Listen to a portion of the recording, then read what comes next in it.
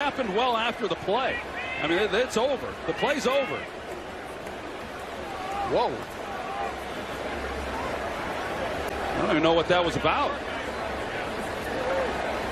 Well, they'll look at that back in New York. Yeah, he may be gone. He, I mean, he should be gone. That, the, the guy who he hit was C.J. Gardner Johnson, who had nothing to do with that play. Then Wims comes out clapping. Yeah, he- say the call.